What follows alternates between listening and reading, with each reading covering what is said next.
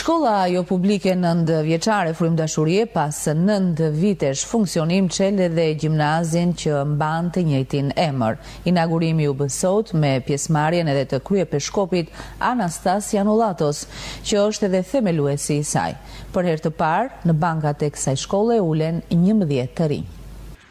Pasi kanë kaluar nëntë vjet nga çelja e shkollës nëntëvjeçare Frymë dashurie, për vitin e ri mësimor dy mijë e shtatëmbëdhjetë dy mijë e tetëmbëdhjetë është krijuar edhe gjimnazi që mban të njëjtin emër. Inagurimi i shkollës u bë sot në prezencën e nxënësve, mësuesve, përfaqësuesve të arsimit, konsullit grek në Gjirokastër e kryepeshkopit të Kishës Ortodokse Autoqefale të Shqipërisë. Anastas Janullatos, i cili është edhe presidenti, ideatori dhe themeluesi i saj. Drejtori i shkollës, Theodhori Qesko, thotë se ngritja e këtij gjimnazi është një përpjekje më tepër për të ndihmuar në ringritjen e cilësisë së arsimit. Gjimnazi Frymë Dashurie përjetoi sot një ditë historike për jetën e tij që sot po fillon, sepse sot kishëm gëzimin dhe bekimin e veçantë Të kishim mes nesh presidentin, ideatorin dhe themeluesin e kësaj shkolle, kryepiskopin e Tiranës, Durrësit dhe gjithë Shqipërisë, zotin Anastas.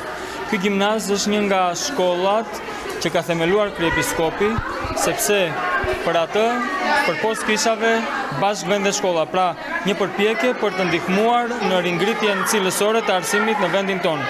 Është një kontribut i jashtëzakonshëm.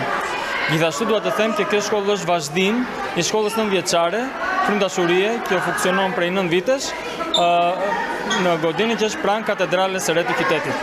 Dhe ne, duke menduar për nxënësit në mënyrë sferike, pamë të nevojshme që përpos arsimit nënvjeçar, ata të vazhdonin dhe në gjimnaz, në të njëjtën mënyrë, në të njëjtën ambient familjar që shkolla jonë ofron, mund të themi laborator dijesh dhe virtytesh, sepse ne këtë përpiqemi, kjo është filozofia e shkollës tonë, një qendër e cila do të zhvillojë fëmijët, qofë nga ana e dijes, por qofë nga ana e virtytit, sepse gjithmonë e dim që shoqëria e sotme ka nevojë për këtë.